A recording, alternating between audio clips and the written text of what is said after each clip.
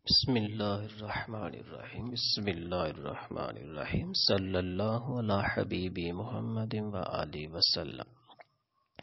बिस्मिल्लाहिर्रहमानिर्रहीम, सल्लल्लाहु अला हबीबी मुहम्मद व आलि वसल्लम, बिस्मिल्लाहिर्रहमानिर्रहीम। सल्लल्लाहु अला हबीबी मुहम्मद व आलि वसल्लम। बिस्मिल्लाहिर्रहमानिर्रहीम। अस्सलामु अलैकुम व रहमतुल्लाहि व बरकातुहू। अल्हम्दुलिल्लाहि रब्बिल आलमीन। अल्लाह सुब्हानहु व का बेहद करम, बेहद फजल, बेहद शुक्र। जिन्होंने मौका और तौफीक अता फरमाई, ज़िंदगी की बेशुमार नेमतें अता फरमाई। अल्लाह सुबहान व ताला के फजल करम से बात बनी हुई है। मालिक सब की बात हमेशा बनाए रखें। आज जुमातुल मुबारक है। तमाम दोस्त अहबाब को जुमा मुबारक। कोशिश किया करें जुमा के दिन। खूब दरुद सलाम के नजराने अल्लाह के महबूब अलैहि वसल्लम के बरगाह में पेश किया करें। अल्लाह और उसके महबूब सल्लल्लाहु अलैहि वसल्लम ने, जहाँ हमें अपने लिए हुक्म दिया, वहाँ साथ पड़ोसियों का, रिश्तेदारों का, अजीजों का भी खास ख्याल रखने का हुक्म दिया। हज़रत सईदा आयशा सदीका रदी अल्लाह तहा फरमाती हैं, अल्लाह के महबूब सल्लल्लाहु अलैहि वसल्लम ने इरशाद फरमाया, जो शख्स जुमा के दिन मुझ पर दरूद शरीफ पढ़ेगा तो बरोज़ क़यामत उसकी शफात मेरे ज़िम्मा करम पर होगी। यानी मैं ज़रूर उसकी शफात करूँगा।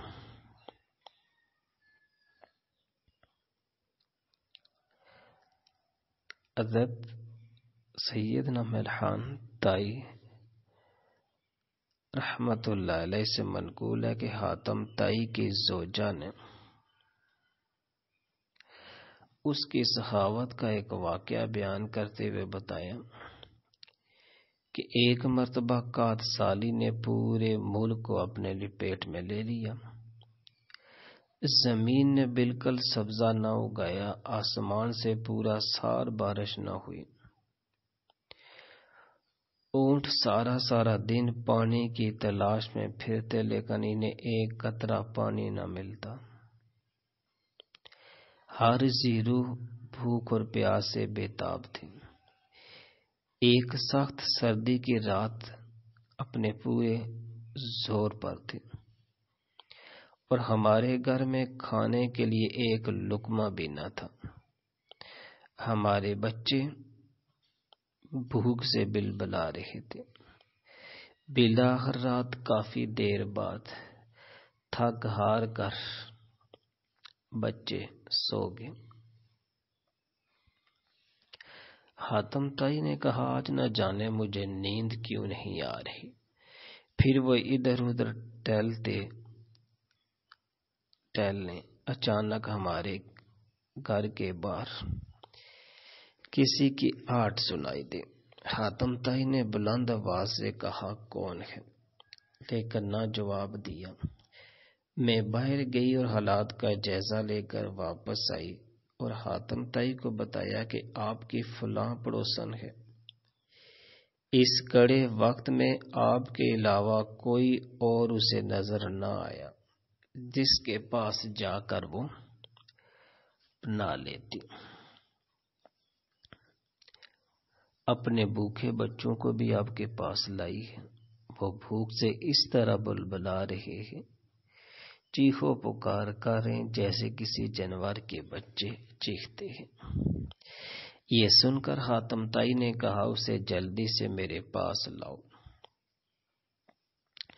मैंने कहा, हमारे अपने बच्चे भूख से मरे जा रहे हैं। इन्हें देने के लिए हमारे पास कुछ नहीं। तो फिर बेचारी पड़ोसन और उसके बच्चों की हम क्या मदद करेंगे? हातम ताई ने कहा, खामोश रहो। अल्लाह ताला ज़रूर तुम्हारा और इन सब का पेट भरेगा। जाओ, जल्दी से इस दुखियारी माँ को अंदर बुला लो। मैंने उसे बुला लिया। इस गरीब ने दो बच्चे अपनी गोद में उठाए हुए थे और बाकी बच्चे इससे लिपटे इसके पीछे आ रहे थे। हातम ताई ने इन्हें कमरे में बिठाया और अपना एक उम्दा जानवर सीबा करके आग जलाई। जब शोले बुलंद होने लगे तो छुरी लेकर इसकी खाल उतारी, फिर इस औरत की तरफ़ छुरी बढ़ाते हुए कहा, खाओ। जितना खा सकते हो, उतना खाओ। और अपने बच्चों को भी खिलाओ। फिर मुझसे कहा, तुम भी खाओ और बच्चों को भी जगा दो, ताकि वो भी अपनी भूख मिटा सके। हमारी पड़ोसन थोड़ा थोड़ा गोश्त खा रही थी। इसके झिझक को महसूस करते हुए हातम ताई ने कहा, कितनी बुरी बात है। कि तुम हमारी मेहमान होकर थोड़ा थोड़ा खा रही हो। ये कहकर वो हमारे करीब ही टहलने लगा। हम सब खाने में मसरूफ थे और हातम ताई हमारी जानब देख रहा था। हमने खूब सैर होकर खाया, लेकिन बाखुदा हातम ताई ने एक बोटी भी ना खाई। हालाँकि वो हम सबसे ज़्यादा भूख में मुबतला थे। सुबह ज़मीन पर हड्डियों के सिवा कुछ न था। इस हिकायत में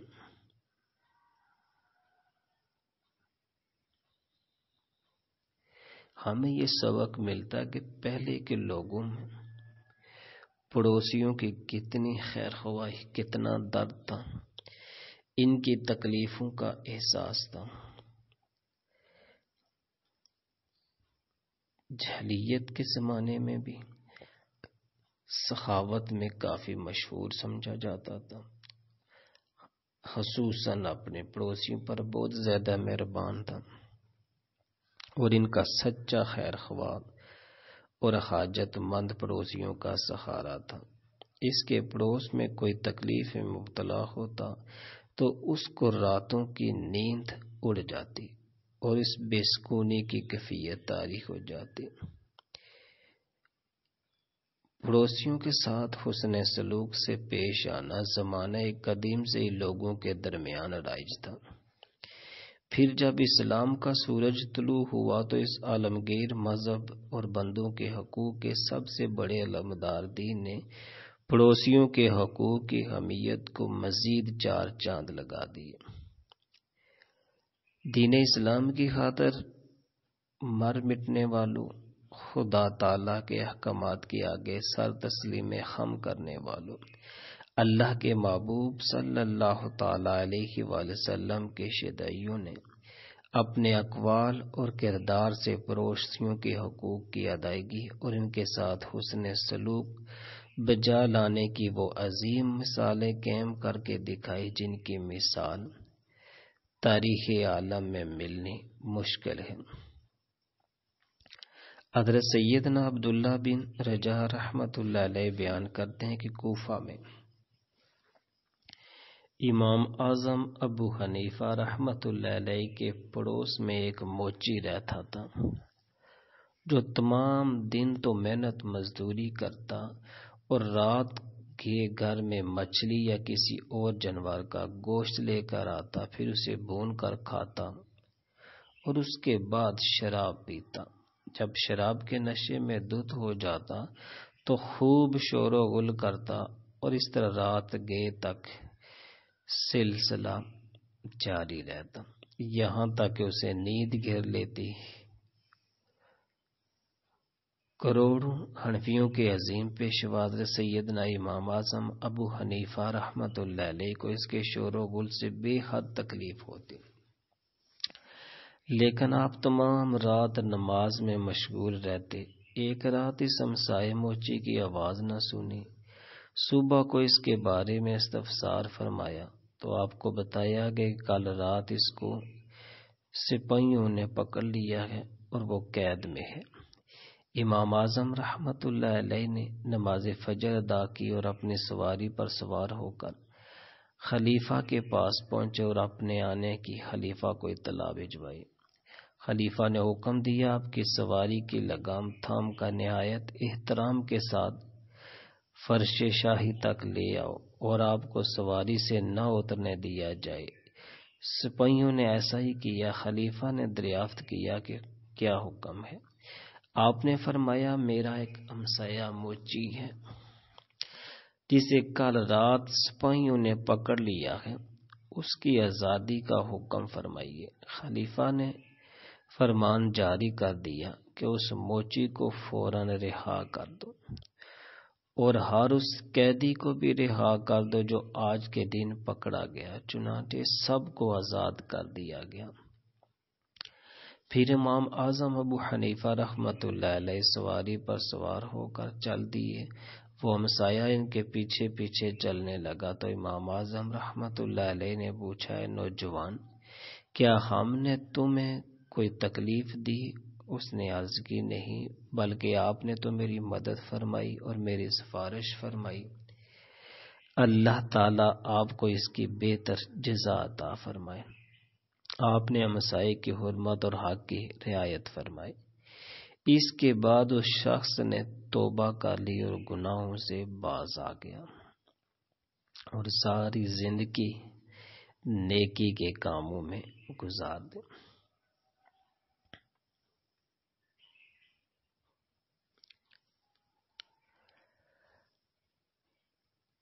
आज अगर मौजूदा हालात में देखें वो पड़ोसी अगर तकलीफ़ भी देते तो फिर भी उनका ख्याल रखते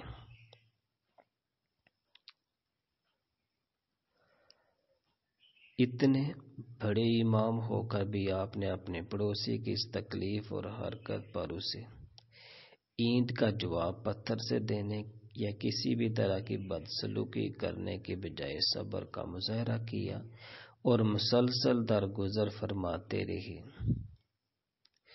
जब इस पड़ोसी को किसी जुर्म में गिरफ़्तार किया गया तो आपके पास ये मौका था कि उसके खिलाफ मुकदमा बनवा देते या खलीफा वक्त से उसकी शिकायत करके उसे सजा दिलवाते, मगर आपने ऐसा कुछ नहीं किया, बल्कि हक अदा किया पड़ोसी होने का। आजकल के दौर में अगर होते तो कहते, चलो अच्छा हुआ, जान छूटी। कुछ दिन तो सुकून करेंगे, मगर वो हमारे अकाबर लोग थे। अल्लाह के नेक लोग थे। हमें सिखाने वाले थे। पड़ोसी हर दौर में ही पड़ोसी होते हैं, चाहे वो अच्छे हों या बुरे हों। इंसान को खुद अच्छा होना चाहिए। हज़रत सैदना इमाम गजाली रहमत फरमाते हैं कि याद रखिए, पड़ोसी सिर्फ़ ये नहीं कि पड़ोसी को तकलीफ़ पहुँचाए, बल्कि पड़ोसी की तरफ़ से बचने वाली तकलीफ़ को बर्दाश्त करना भी पड़ोस का हक में शामिल है। क्योंकि ऐसा भी होता है कि एक शख्स अपने पड़ोसी को तकलीफ़ नहीं पहुंचाता और वो इसके बदले उसे तकलीफ़ नहीं देता। हालाँकि इस तरह पड़ोस का हक अदा नहीं होता। सीरक तक, तकलीफों को बर्दाश्त करने पर इकतफा न करें, बल्कि ज़रूरी है कि एक उसके साथ नरमी और अच्छे तरीके के साथ पेश आए, ताकि वो बुरे रास्ते को छोड़कर सीधे रास्ते पर आ जाए। जब आप किसी के साथ अच्छा रवैया अपनाएँगे मोहब्बत के साथ पेश आएँगे। तो फिर एक ना एक दिन वो आपका पड़ोसी सीधे रास्ते पर ज़रूर पलट कर आएगा।